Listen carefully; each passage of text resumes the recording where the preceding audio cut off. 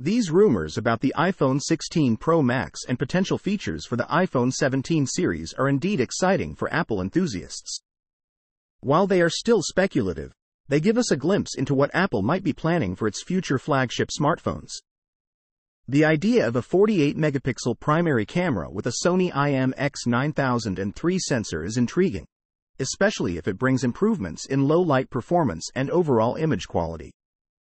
Enhanced camera features for editing photos directly on the phone would be a welcome addition for photography enthusiasts.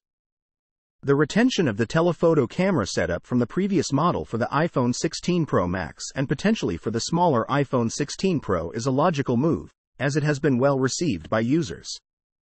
Looking ahead to the iPhone 17 series in 2025, the possibility of a beefed up selfie camera, a powerful new processor, advanced Wi-Fi technology, and support for dual 48 megapixel cameras sounds promising and in line with Apple's commitment to innovation.